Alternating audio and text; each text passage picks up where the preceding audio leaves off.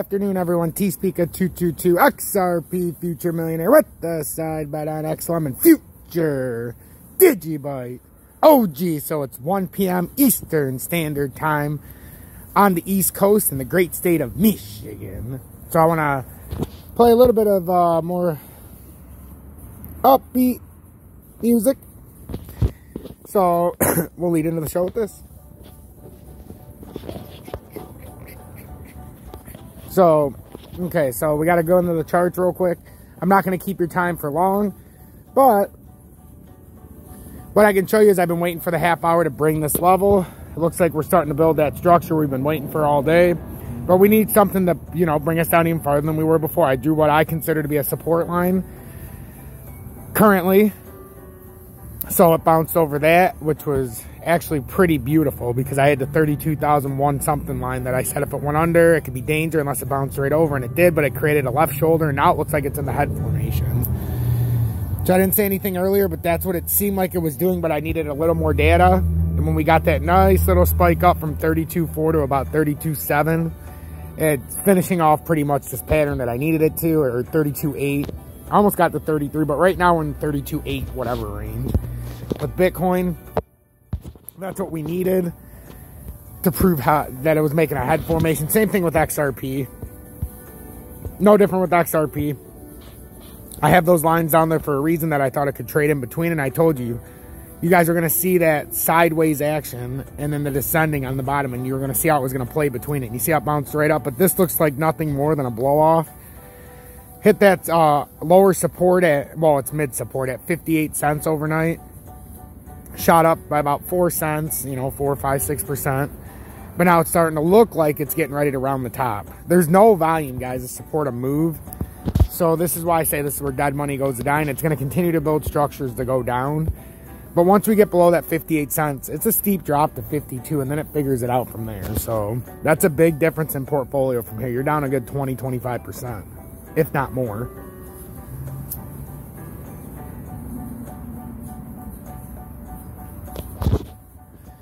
And that would be just the mistake of buying right now.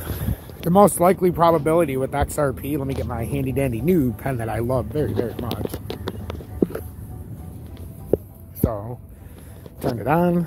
All right, so the most likely probability is you, with XRP is if no volume comes in, you could even do this and bounce over the moving average, but then you're to come down pretty quickly and just stair step down. And then you're to move down farther along the pattern. It's very it's it's possible that this is already rounding the top right here and then it would come down to a shoulder and then work his way in a descending fashion. But it doesn't have much room left off the top here at all. Came down to prove that this new uh, resistance level at this level that was being support, as you know, the last few days, is now in fact resistance. Not even 33,000 now is resistance. It's about 32.8. So it, it's going to be detrimental once these break out. XLM's doing the same thing. That was my line that I put up there. That I thought it was going to, you know, work in an ascending fashion. It just missed it, but it hit the same levels I was talking about. and now it traded back over the ascending uh, support. But with XLM, the most logical thing, this has already come around. This is either the head or it's going to come up one more level, create it something like this, and then work its way down and then further. And it's going to end up, you know, down below that level. At or below 20 cents. So, or this is already the head and it's rounding it already and then it's going to come down in a quicker fashion, but it's got to build some, you know, it's got to build a little bit on the way down. DGB, same thing. DGB looks like it followed the, they all moved that, followed the moving average in the 30 minute beautifully.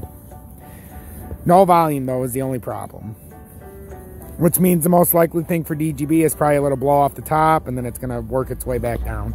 It bounced off my support line beautifully. It traded between the two that I told you that it was either going to go in a downward or upward fashion right there because it had to build a structure to come farther down. So people are like, oh, it made a bounce. Did it? Or is this just creating the structure to make that bigger fall possible? I tend to lean to the second. And then which one do I want to end? With XDC. We'll do XDC. Guys, be very careful. Like I always tell you with XDC, it, it came around. It could be very well a hip. shoulder, and I would expect maybe a little more on the head. Maybe try to push that 10 cent mark one more time. Because I don't necessarily think that's a rounding top for the head. I think that something like this is going to happen. And then it's going to come down farther than where it was at. And look for that 6.8 to be tested on this next drop. If you get to that 6.8, guys, I see a 1X on XDC up to about 13 cents if it can play this right. Before a farther class below 6.8. That's why I'm saying these are portfolio killers. Even if you make a 1X on this bounce, not yet, when we go down to the support levels, you have to get out very, very quickly or you lose all those gains. So T-Speaker 222 XRP Future Millionaire with the side bet on XLM and Future Digibyte OG. So guys, I want to end with this. I want to thank each and every one of you.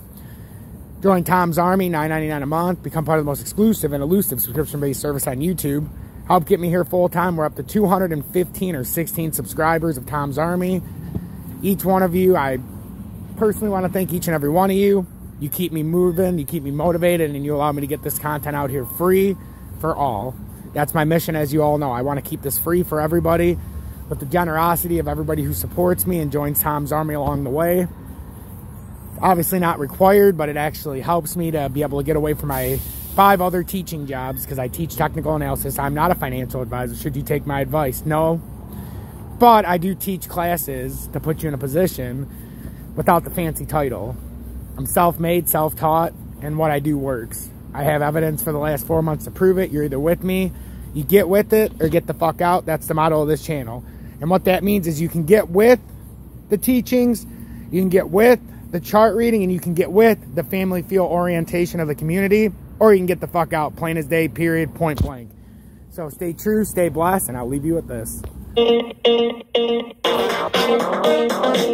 Sunny days, sunny days, here again. Sunny days, here again. Sunny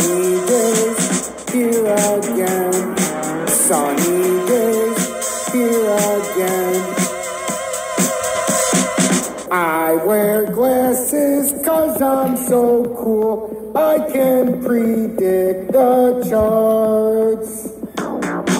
Sunny days, here again. Sunny days, here again. Sunny days, here again. Sunny days. Join Tom's Army for $9.99 a month.